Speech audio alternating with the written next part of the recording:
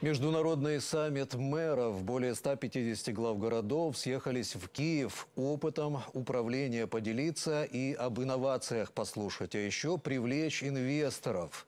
С этим градоначальникам помог украинский премьер. Как именно, расскажет Эдуард Ганишевский.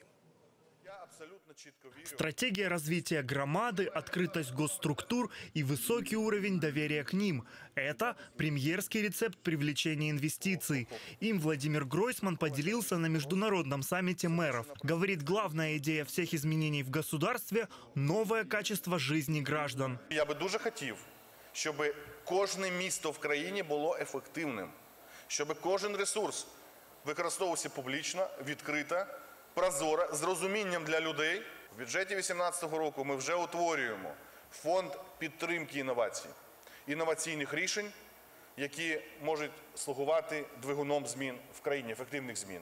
Дать людям быть хозяевами своего города – этот подход успешно практикуют в Мариуполе. 30% всех жилых домов там уже оформлены как ОСМД. Такого показателя нет больше нигде в Украине, как и системы умного видеонаблюдения. По словам мэра Владимира Бойченко, благодаря смарт-камерам уровень уличной преступности сократился втрое. Они установлены на въездной группе в город, они сегодня установлены в местах активного скопления горожан, и они в автоматическом режиме постоянно сканируют транспортные средства, сканируют людей, которые передвигаются, и отправляют эту информацию в базу данных. И Если, не дай бог, машина в розыске или человек в розыске, соответственно, сразу автоматически информация попадает на линию 102. Мариуполь не единственный инновационный город Украины. Мэр Житомира гордится введением в коммунальном транспорте электронного билета. Система электронного билета позволяет организовать перегрузочные хабы, и пассажир не платит два раза, а работает в рамках одного проездного билета. После введения электронного билета выручка на коммунальном транспорте выросла до 30%.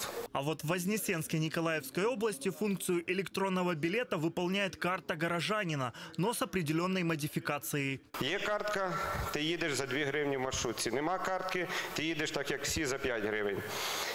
Таким чином, ми буквально за місяць роздали 10 тисяч карток. Але той крок, який ми зробили, він дає нам можливість хоча б почати роботу і дозволити людям впливати на ту ситуацію, в якій вони живуть, впливати на те середовище, в якому вони живуть. Саммит мэров стал площадкой демонстрации возможностей децентрализации. А еще мэры договорились о взаимодействии в вопросе развития инвестиций. Эдуард Ганишевский и Александр Литвинов специально для телеканала «Донбасс».